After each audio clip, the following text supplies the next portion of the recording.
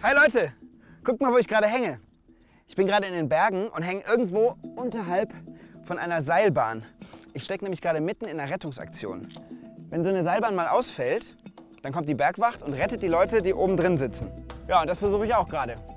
Ob's klappt, seht ihr in der Sendung. Heute geht's um Seilbahnen. Ich bin unterwegs, ich komme gleich. Super, ich muss aufs Klo. Oh ja, äh, ich beeil mich. Welches Seil war jetzt noch mal was? Oh Mann. Hohe Berge kenne ich mittlerweile schon ganz gut. Ich war Snowboard fahren, habe mich in eine Gletscherspalte abgeseilt und in der Höhe ein Iglu gebaut. Hi. Auf die Berge raufgekommen bin ich natürlich nicht zu Fuß, sondern meistens mit einer Seilbahn. Seilbahnen gibt es schon seit mehreren tausend Jahren. Die ersten bauten die Menschen in Japan und China. An Seilen zogen sie so Waren oder sogar Personen über Schluchten und Flüsse. Und das tun sie auch heute noch.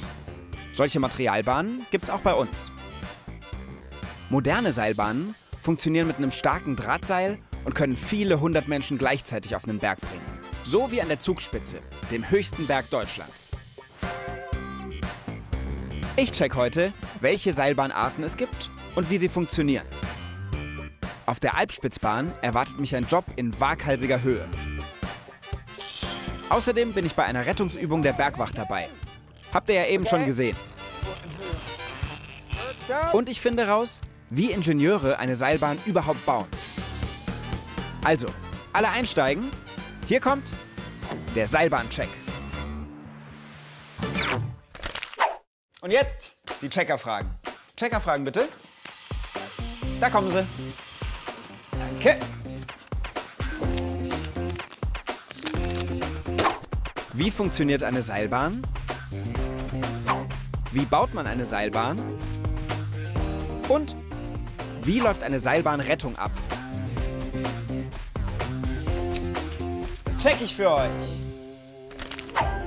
Seilbahnen gibt's meistens in den Bergen. Für Wanderer und Skifahrer, klar. Es gibt Sessellifte, Schlepplifte, Gondel und Standbahnen.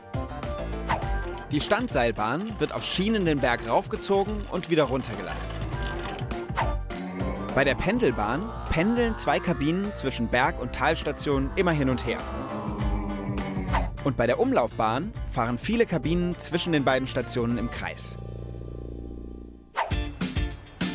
Wie eine Umlaufbahn genau funktioniert, gucke ich mir im Allgäu an. Bei der Alpspitzbahn in Nesselbahn.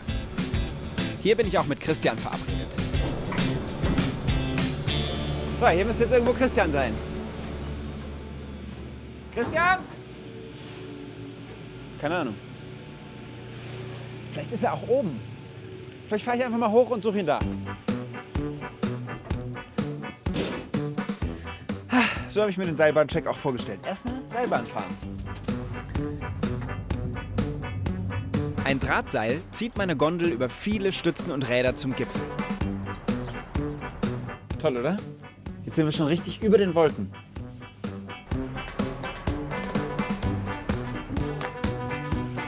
Christian? Christian! Wo ist denn der? Oh wow, das habe ich noch gar nicht gesehen. Schön. Aber ich glaube, Christian ist hier irgendwie nicht. Ich gucke noch mal unten. Christian! Also wieder zurück. Über 10 Stützpfeiler, 300 Meter nach unten.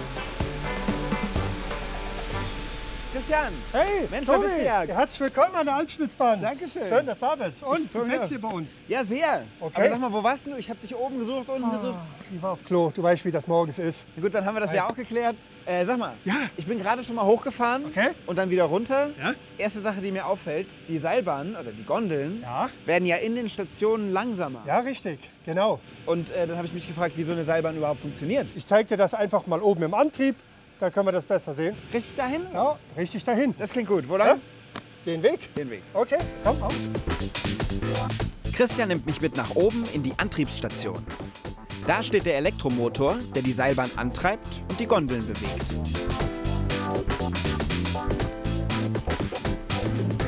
Okay, also wo kann ich jetzt sehen, wie die Seilbahn funktioniert? So, pass auf. Du siehst ja die große Scheibe hier, Die rote. die rote, genau. Und da geht das Seil praktisch rum. Und das Gleiche haben wir natürlich auch an der Gegenstation, denn das Seil soll ja von oben wieder runterkommen. Nur hier wird es angetrieben. Das grüne Zugseil wird von einem Motor angetrieben und bewegt so die Seilbahn. Das gelbe Tragseil trägt die Kabinen vom Berg ins Tal und wieder zurück. Beide Seile laufen zwischen den Stationen die ganze Zeit im Kreis. Was ist, wenn jetzt fünf Elefanten einsteigen und auf den Berg hoch wollen? Die wiegen ja viel mehr, als wenn fünf Tobis einsteigen. Richtig. Und dann würde ja das Seil total durchhängen. Genau. So, das erkennt die Anlage, weil das Seil muss immer die gleiche Spannung haben. Und dafür sorgt praktisch hier das Teil, was wir vor uns sehen. Es wird praktisch mechanisch immer nach hinten gezogen. Die Anlage erkennt, hey, du, mein Gummiband wird jetzt ein bisschen schlaff, ich muss nachziehen und dann macht die das vollautomatisch. Mit den Elefanten an Bord würde das Seil durchhängen und die Kabine im Wind baumeln. Das bemerkt aber die Maschine und zieht das Seil mit einem Gewicht in der Talstation wieder straff. Okay, kapiert. Aber wie werden die Gondeln in den Stationen abgebremst, damit Wanderer und Skifahrer gemütlich ein- und aussteigen können? Das Ganze funktioniert ja so. Wir haben ja da das Seil, wie es reinkommt. Und jedes Fahrzeug hängt ja mit einer Klemme am Seil dran. Und die hält so feste zu, dass das nicht verrutscht. Ich habe dir da mal ein Beispiel mitgebracht. Kennen wir alle von zu Hause. Wäscheklammer. Gib mir mal deinen Finger. Also das ist das Das Seil. ist jetzt dein Seil. Ja. Und hier ist jetzt das Fahrzeug und das ist meine Klemme. Die Kabinen hängen mit einer Klemme am Tragseil fest. Wenn sie in die Station fahren, hakt die Klammer aus und die Kabinen werden von Gummireifen abgebremst und langsam weiter befördert. So kann jeder aus- und einsteigen. Guckt mal, hier seht ihr, wie die Klammer aushakt und das Seil verlässt. Da. Die Kabine hängt jetzt nicht mehr am Seil, sondern fährt auf diesem Rad hier durch die Station. Angetrieben durch ganz viele Gummireifen. Cool, ne? Am Ende der Station drehen sich die Reifen dann immer schneller. Die Klemme hängt sich wieder ein und die Gondel hängt wieder am Tragseil. Ein Tragseil bringt die Kabinen vom Tal auf den Berg und wieder zurück. In der Station sind die Kabinen dann abgekoppelt. Gecheckt. Seilbahnen, so wie wir sie heute kennen, gibt es seit ungefähr 100 Jahren.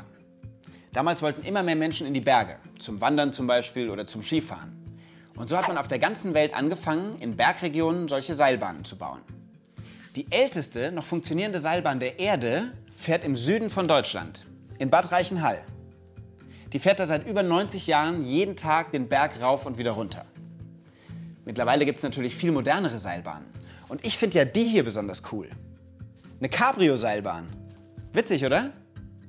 Diese Doppeldecker-Seilbahn aus der Schweiz hat innen drin eine Wendeltreppe und darüber kommt man aufs Dach raus und hat dann eine super Aussicht und Fahrtwind in den Haaren.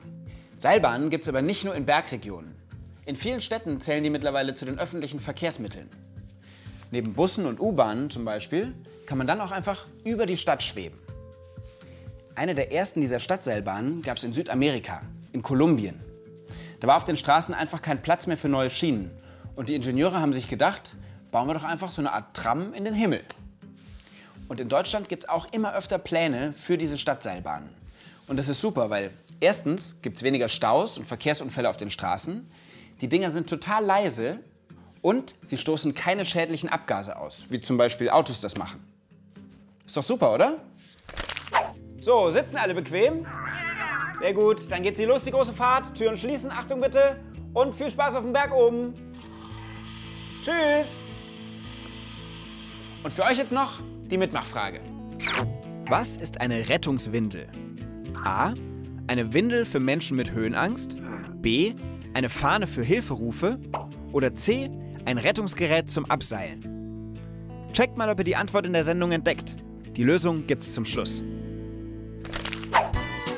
Von Christian habe ich mich schon verabschiedet. Von der Alpspitzbahn aber noch nicht. Christians Kollegen überprüfen nämlich heute die Seile, Rollen und Kabinen, damit alles richtig funktioniert. Das hier ist Lukas. Er ist der Betriebsleiter der Seilbahn. Hi, bist du Hi. Lukas? Ja, Tobi, servus. Grüß dich. Äh, ich habe gehört, du machst so Wartungsarbeiten. Ich könnte dir helfen. Super, dann habe ich schon ein Zeug für dich hier. Ah, Kannst dich gleich mal reinschwingen. so ein, so ein Sicherungsgurt. Genau. So, oder? Jawohl, so sind wir schon gar nicht verkehrt. Und jetzt? Jetzt klippst du mir hier vorne nur zu. Ah, den das da. Bauch gut. Dann noch die Beinschlaufen und dann Ah. kannst du schon gar nicht mehr abhauen. Alles klar.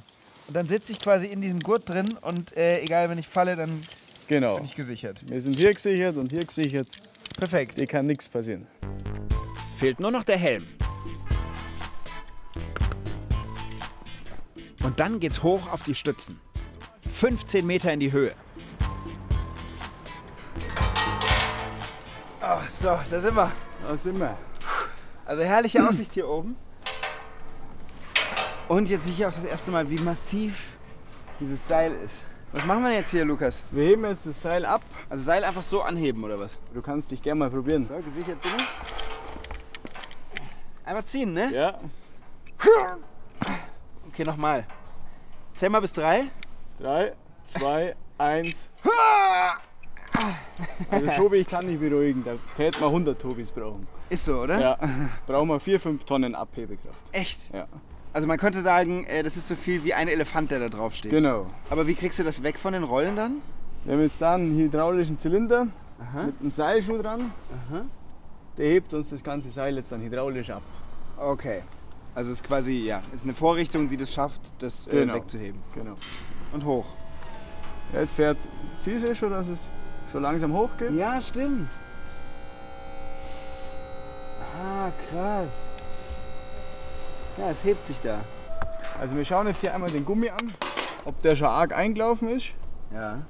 Aber der ist jetzt noch okay. Und dann drehen wir die Rolle, Ob die sich auch flüssig und gut dreht, ne? ob Ohne, wir dass da Geräusche blockiert. aus dem Lager hören.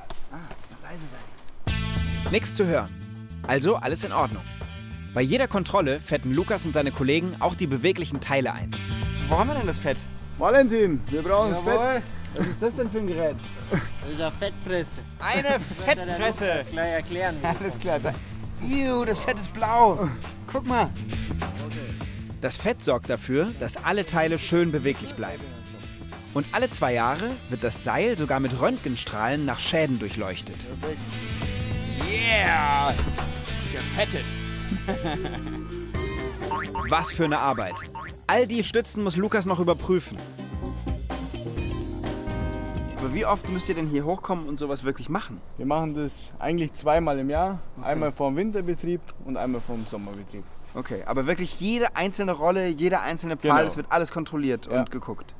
Weil wenn wir eine während dem Betrieb verlieren, eine Rolle, dass die stehen bleibt durch einen Lagerschaden, da schauen wir lieber jede durch, bevor wir da wegen so einer Lappalie stehen. Verstehe. Dann haben wir noch ein bisschen was vor uns. Da haben wir noch ein bisschen was vor uns. Los geht's. Aber erstmal die zweite Checkerfrage. Wie baut man eine Seilbahn? Bis so eine neue Seilbahn fertiggestellt ist, vergehen teilweise mehrere Jahre. Zuerst gibt es eine Planungsphase. Ingenieurleute vermessen ganz genau das Gebiet und überlegen sich, wie sie beim Bau möglichst wenig in die Natur eingreifen. Denn beim Bau von so einer neuen Seilbahn müssen teilweise richtig viele Bäume oder sogar ganze Felsen dran glauben. Ja, und das ist schlecht für die Umwelt. Generell gilt deswegen, lieber alte, schon vorhandene Seilbahnen erneuern. Und eben keine ganzen großen neuen Schneisen schlagen. Tja, und wenn dann die Planung abgeschlossen ist, dann kommt, klar, der Bau. Und der ist teilweise richtig spektakulär. Guckt mal. Sechs Jahre Planung und Bauarbeiten waren nötig, bis die neue Zugspitzbahn auf den knapp 3000 Meter hohen Gipfel fahren konnte. Die Stahlbaustütze ist 127 Meter hoch. Das ist Weltrekord für eine Pendelbahn. Die Tragseile sind etwa 7 cm dick und wiegen jeweils um die 150 Tonnen. So ein tonnenschweres Drahtseil besteht übrigens aus ganz vielen einzelnen Drähten. Die werden verzwirbelt und in mehreren Lagen übereinander gelegt, bis sie stark genug sind. Cool, was? Für die neue Zugspitzbahn mussten übrigens keine Bäume gefällt werden. Sie wurde genau dahin gebaut, wo die alte stand. Bis eine Seilbahn gebaut ist, dauert es mehrere Jahre. Ganz wichtig, auf die Umwelt achten. Check. Genug mit Schnee und Eis. Jetzt mal ab in die Sonne. In Lenkries darf ich bei einer Seilbahnrettung mitmachen. Und zwar bei Willi und seinen Kollegen von der Bergwacht. Und das ist auch meine dritte Checkerfrage. Wie läuft eine Seilbahnrettung ab? Hallo Willi. Grüß dich, Tobi. Hallöchen. Schön, dass du da bist. Freue mich auch. Hallo alle. Hallo. Guten Tag. Sag mal, ihr bereitet euch gerade vor für den Übungseinsatz. Genau, wir üben heute eine Seilbahnevakuierung. Das heißt, also normaler Ablauf wäre, ich will eigentlich den Berg hoch, ich setze mich da rein. Dann gibt es ein technisches Problem.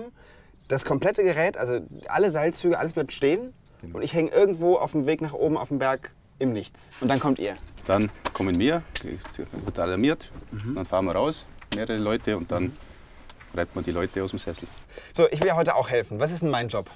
Dein Job wäre jetzt, du setzt dich in den Sessellift, wir fahren dich rauf bis zu einer bestimmten Position, wo wir heute üben wollen und dann spielst du den zu rettenden Patienten. Ich bin der Patient. Ja.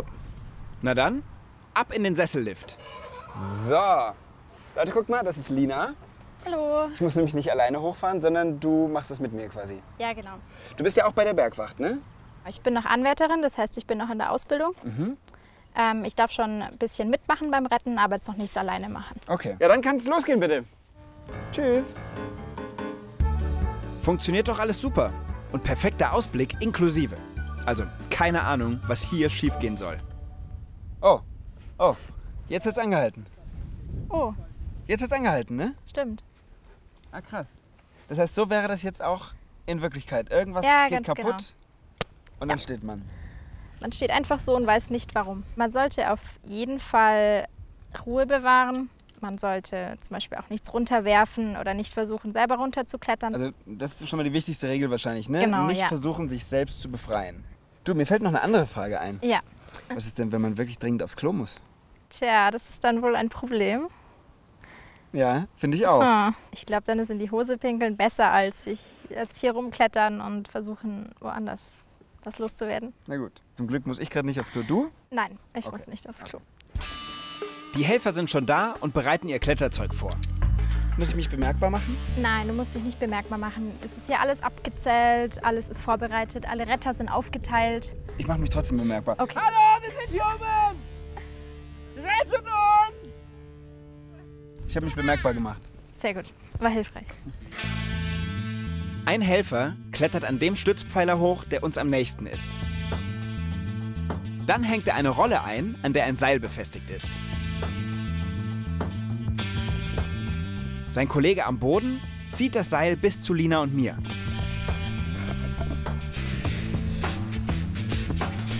Willi kontrolliert nochmal sein Gurtzeug, dann ist alles bereit. Sag mal, wie oft passiert sowas in Wirklichkeit, dass wirklich eine Seilbahn so technisch kaputt geht, dass ihr retten müsst? Äh, ich glaube, ich habe es einmal miterlebt. Da war ich aber noch nicht bei der Bergwacht, als die Gondel stehen geblieben ist und die dann unten mit der Feuerwehr in der Mitte im unwegsamen Gelände durch die Bergwacht und oben durch Hubschrauber. Weil Echt? dann hat man, glaube ich, 70 Meter bis zum Boden Boah. und da kommt irgendwie auch keiner mehr hoch oder runter. Um uns zu retten, brauchen die Leute von der Bergwacht keinen Hubschrauber. Willi ist vorbereitet. Seine vier Kollegen ziehen ihn über die eingehängte Seilrolle zu uns nach oben. Ah, ich glaube, es geht los, oder? Ja, sieht so aus. Willi! Ja, ich komme. Super!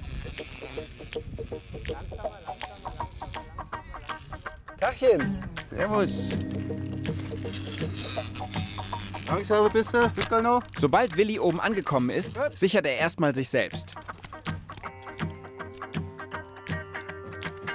Lina und ich bekommen diesen roten Plastiksack um den Po und jede Menge Gurte.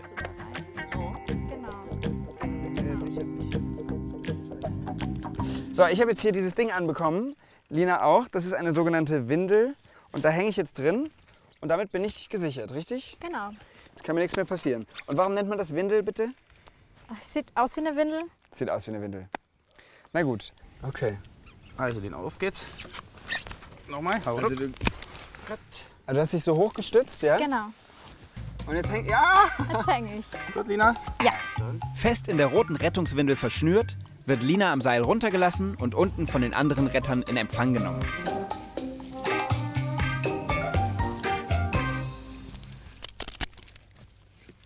So, dieses orangene Seil wird mich jetzt im besten Fall Genau. zwölf Meter nach unten sichern. Jetzt genauso. Abdrücken Was kurz. ist hiermit? Das hänge ich dann aus. Eins, drei zwei. hochdrücken. Okay, Drei. eins, zwei, drei.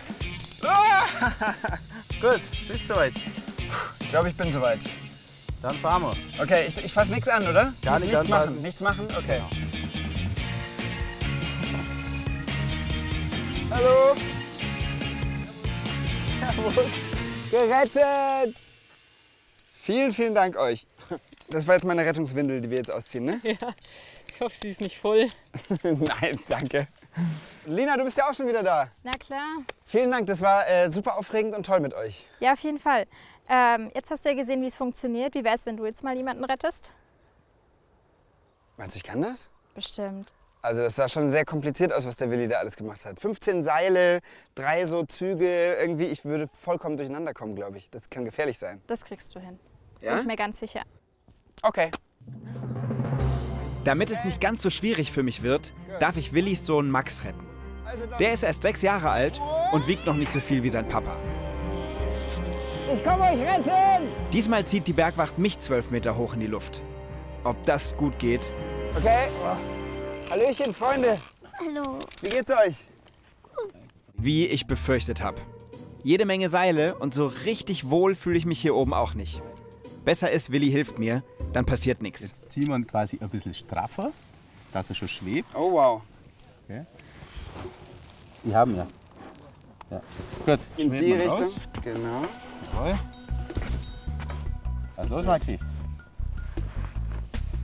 Maxi, geht's dir gut? Ja. Super. Maxi ist gesichert. Gerettet.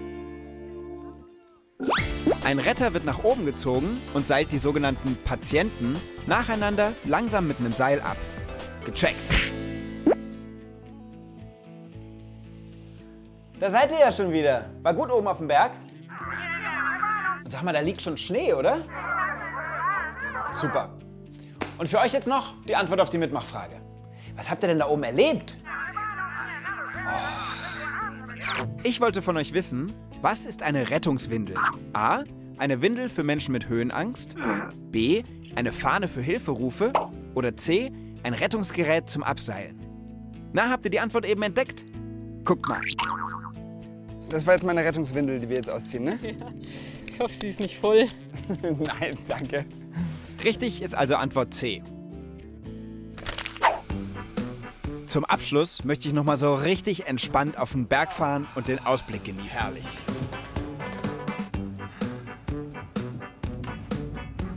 Prost.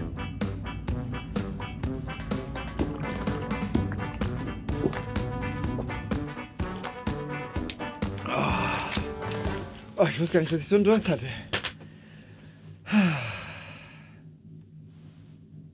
Oh nein, ich muss voll dringend aufs Klo. Oh nein. Und die Bergstation ist noch richtig weit weg. Oh Gott. Also Leute, macht's gut. Bis zum nächsten Mal. Drückt mir die Daumen. Oh Gott. Ich muss pipi. Ah.